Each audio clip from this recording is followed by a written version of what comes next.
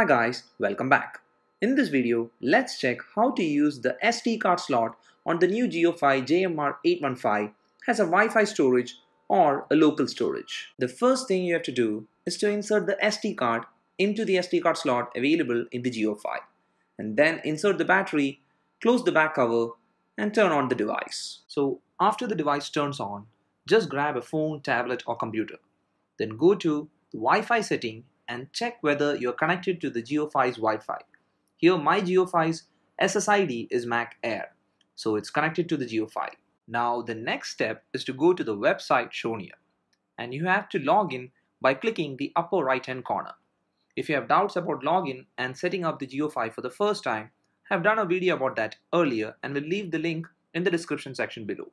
After you log in, you have to go to the storage option and there as you can see under storage setting there is storage mode and under that you can either choose Wi-Fi storage or local storage. It's defaultly set to Wi-Fi storage and you can also see a link to go to the Wi-Fi disk.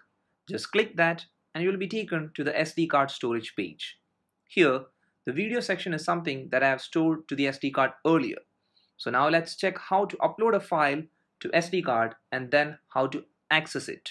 For that you have to click the upload button and I'm going to upload a picture from my camera roll. And here I'm going to click the start button. And after successfully uploading, I'm going to close this and I'm going to go to the images section. And there you can see there is an image and near the name of that image there are three small icons and if you click the first icon it will download that image. So this is how you upload files and access it.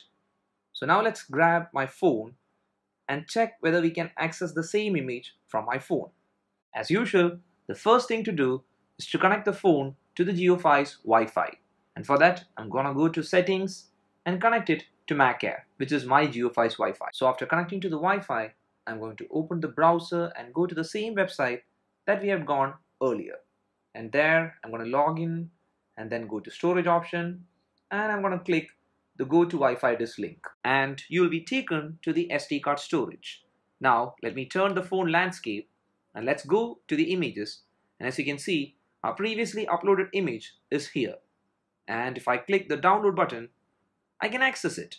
So that's how you use your JioFi as a Wi-Fi storage option. Before we check how to use JioFi as a local storage option, just a quick reminder guys to click the subscribe button and the bell icon so that you will be notified whenever a new video is uploaded. So now let's check how to use the local storage option of the JioFi. For that, let's first connect the JioFi to the USB port of my laptop. And as you can see, the device is not being detected yet. For that, there are a couple of things to be done. First thing, as usual, is to check whether the laptop is connected to the JioFi network. Then, just open the browser and go to the same old website that we used in the video and do the same boring login stuff and go to the storage option. And there, select the local storage option.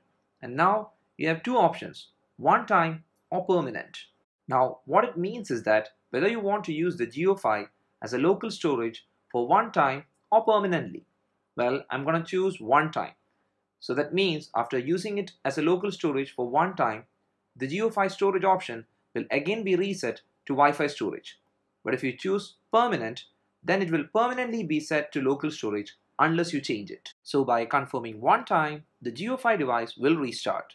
So let's wait till it restarts.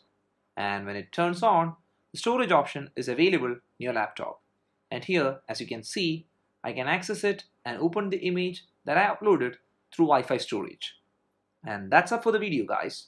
If you like the video, please do hit the like button. And don't forget to subscribe. See you again in the next video Till then, bye.